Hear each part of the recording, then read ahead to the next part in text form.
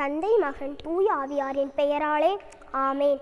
தினம் ஒரு புனிதர் நவம்பர் இருபத்தெட்டு புனித கேத்ரின் லாவ்ரே. ஆயிரத்தி எண்ணூற்றி ஆறு மே ரெண்டு அன்று கேத்ரின் பிறந்தார். சிறு வயதில் தாயை இழந்தார். அப்போது அன்னை கன்னிமரியாவின் சிறுவத்தை எடுத்து அன்பு அன்னை மரியை நீதான் என் தாய் என்று ஜெபித்தார். ஆயிரத்தி எண்ணூற்றி பதினெட்டு ஜனவரி இருபத்தைந்து அன்று கேத்ரின் முதல் நற்கருணை பெற்றார்.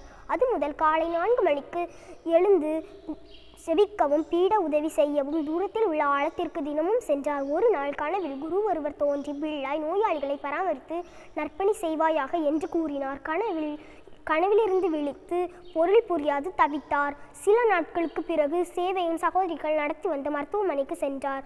த தான் காட்சியில் கண்ட குருவின் படம் கண்டு அவர்தான் புனித வின்சென்ட் டே பவுல் என்று இந்த சபையை நிறுவியவர் என்பதை அறிந்தார். பொருள் விளங்கியது ஆயிரத்தி எண்ணூற்றி முப்பது ஜனவரி மாதம் சேவையின் சகோதரிகள் சபையில் சேர்ந்தார்.